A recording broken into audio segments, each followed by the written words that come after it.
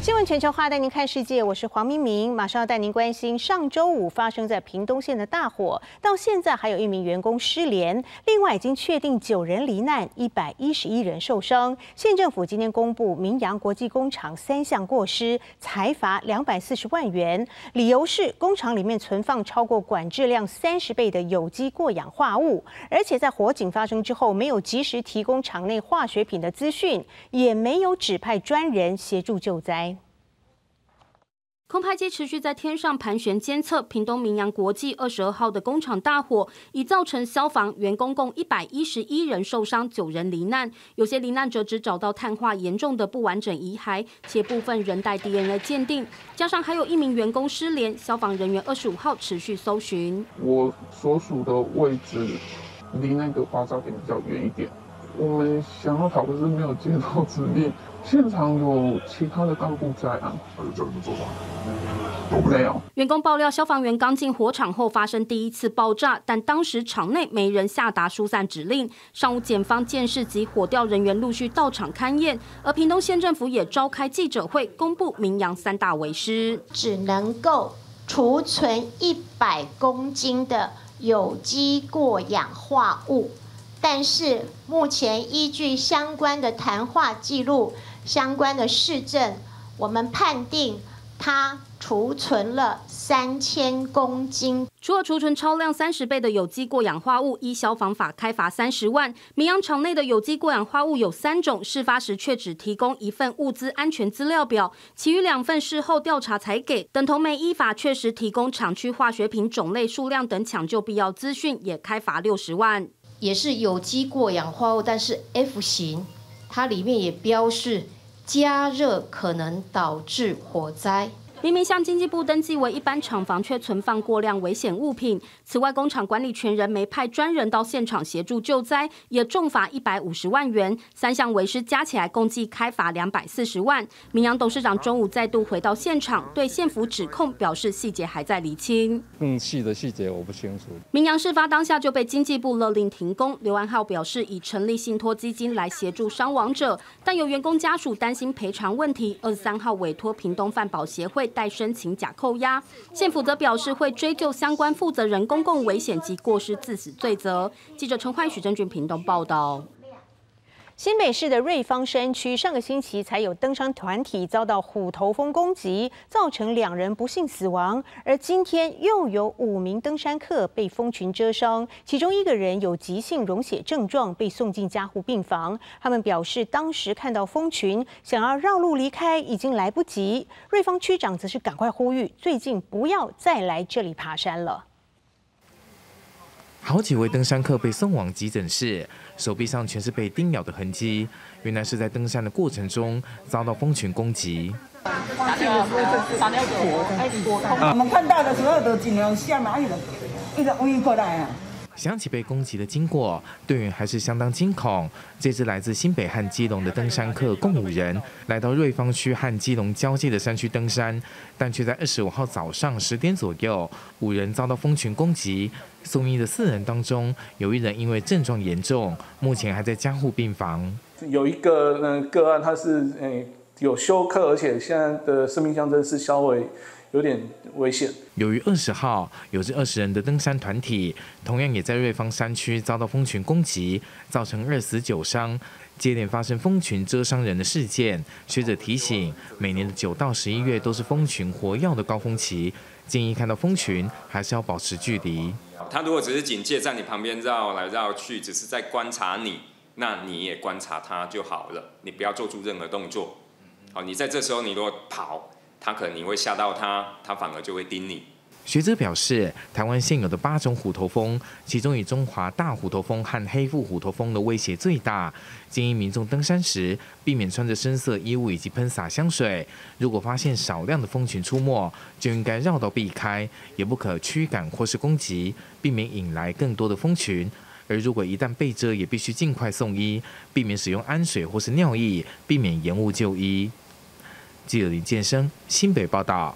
同样也是跟钱有关，美国政府又再度面临关门危机，因为众议院强硬派的共和党议员主张削减预算赤字，包括提供给乌克兰的援助也可能受到影响。如果国会不能在九月三十号之前针对临时拨款法案达成协议，那么美国联邦政府十月一号就会停摆。美国国会今年六月才通过举债上限法案，让政府免于债务违约的风险。但是眼前又面临类似的困境，因为美国本财政年度将在九月三十号结束，明年的预算案却还在国会卡关。如果国会两党十月一号之前无法达成协议通过预算案，拜登政府将面临关门危机。A government shutdown could impact everything from food safety to cancer research to Head Start programs for children. Funding the government. Is one of those basic responsibilities of Congress. And it's time for Republicans, Republicans to start doing the job America elected them to do.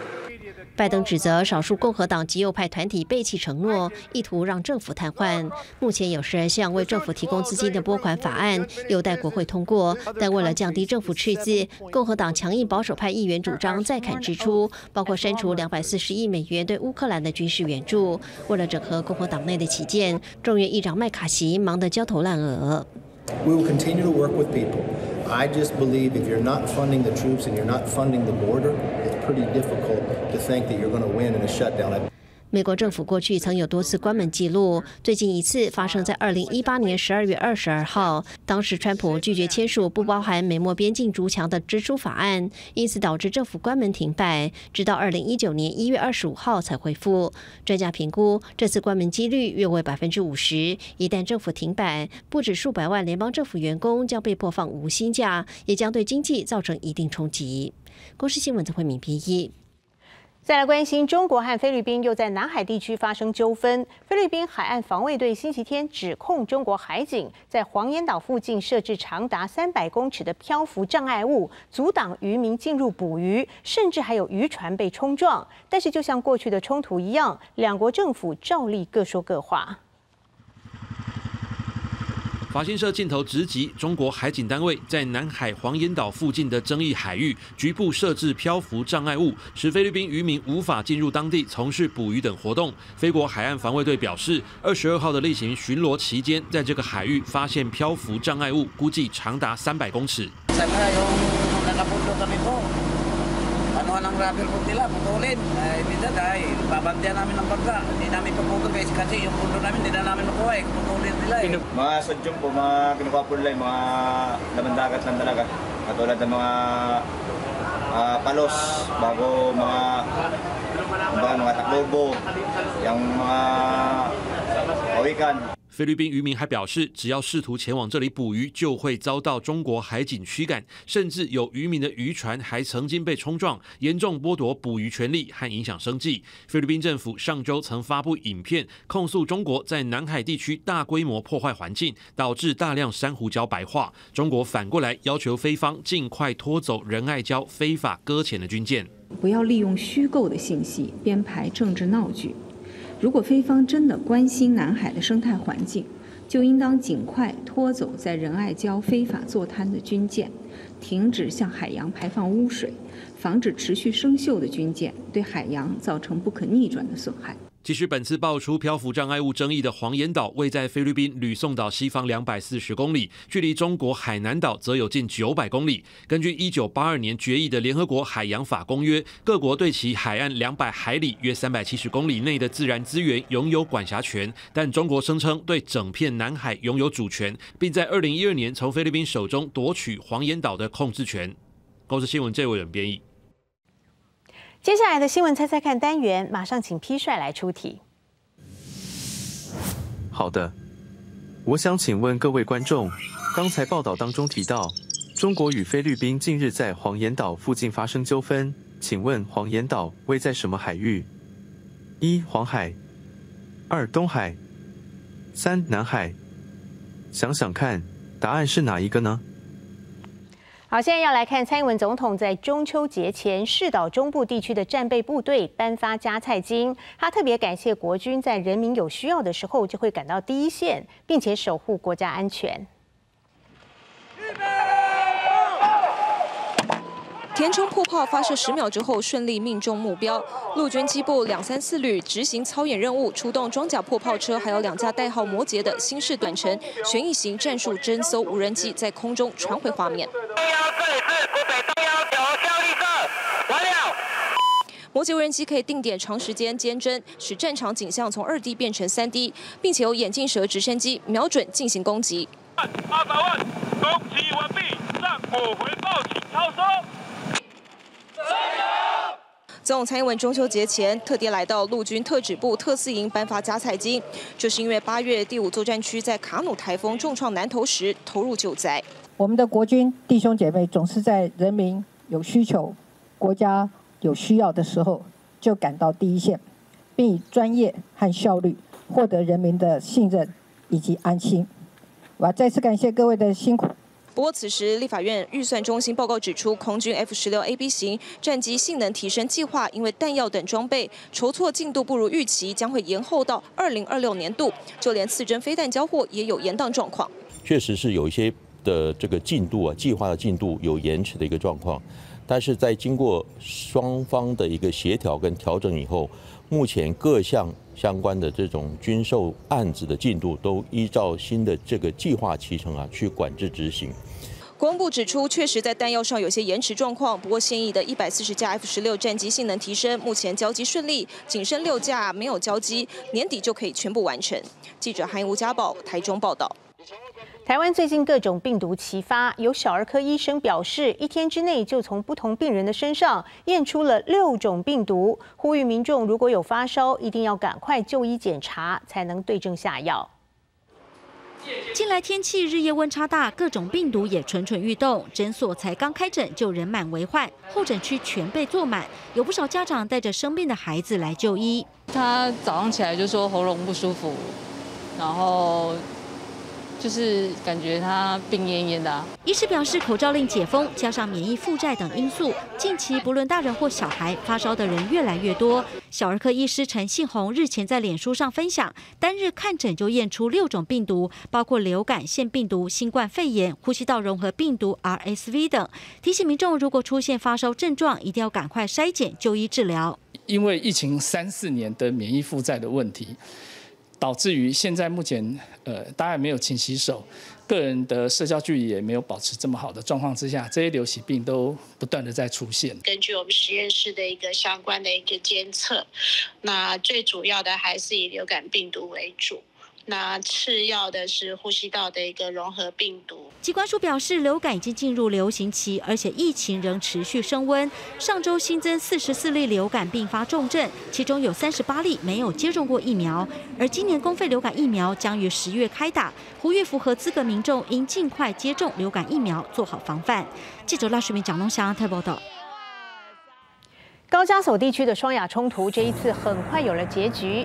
亚塞拜然对纳卡地区的亚美尼亚一分离主义据点发动军事突袭，短短二十四个小时，造成大约两百人丧命之后，分离主义武装部队宣布停火求和，由亚塞拜然取得了纳卡地区的控制权。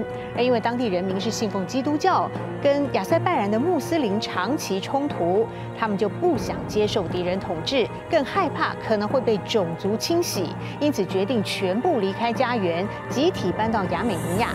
而对于纳卡区的陷落，亚美尼亚总理帕辛扬强烈批评俄罗斯拒绝介入冲突，扬言要改变长久以来依赖俄国的外交路线。但是呢，亚美尼亚人对这个帕辛扬也很不满，示威抗议，要求他下台。除了政治动荡之外，亚美尼亚只是一个两百八十万人口的小国。如果纳卡地区的十二万人全部都涌进来，可以想象是极大的负担。当地舆论担忧可能爆发人道危及。亚塞拜然军队上个星期以反恐为由。对南高加索纳格尔诺卡拉巴赫地区的亚美尼亚村落发动二十四小时突袭行动，造成了至少两百名亚美尼亚裔居民、数十名亚塞拜人士兵以及五名俄罗斯维和部队士兵丧生。亚美尼亚裔分离主义武装部队宣布停火求和，首批为数在一千零五十人的难民二十四号跨越边界进入亚美尼亚村落科尔尼佐尔。ասում են ժողովուրդը պետք է դուսկյան կամ էլ ադրբեջանական պասպորտ վեկալեն 历经爆火摧残，把一家老小能带走的家当全部塞进两辆箱型车，逃到亚美尼亚的六十九岁老人向媒体表示，全村五百口人只有四十人逃出火网。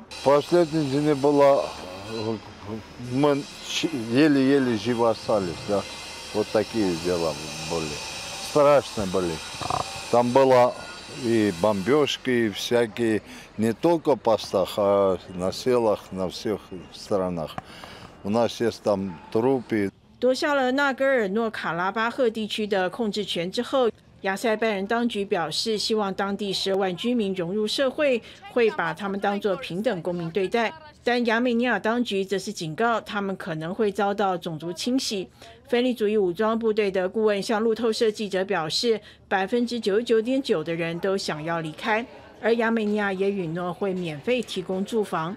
亚美尼亚总理帕西扬二十四号在全国电视演说中，对俄罗斯拒绝介入冲突表达强烈不满，指俄罗斯主导的集体安全公约组织 CSTO 军事与政治合作没有效果且机能不全，应该要改变长久以来倚重俄罗斯的外交路线。俄罗斯外长拉夫罗夫则是在联合国大会上表示，双亚已经平息了纷争，到了该建立互信的时候了。公司新闻王慧文编译。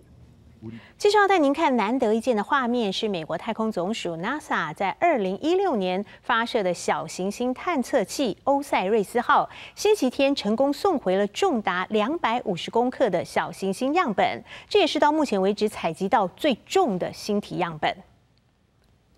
欧塞瑞斯号发射的太空舱出现在荧幕上，犹他州军事基地的美国太空总署地面控制人员立刻欢声雷动。二零一六年发射升空的欧塞瑞斯号，二零二零年在贝努小行星采集到样本。二十四号，欧塞瑞斯号从十万公里的高空发射的太空舱，将样本送返地球。太空舱首先撑过了大气层中急速下降所形成的高温，在降落地表前，由于橘色的降落伞开启的位置比预期的高度要多上四倍，一度让地面控制中心绷紧神经。历经四个小时，总算顺利抵达犹他州军事基地训练区。NASA。人员将太空舱送往临近的实验室，在确保不受污染的密闭环境下检验小行星样本。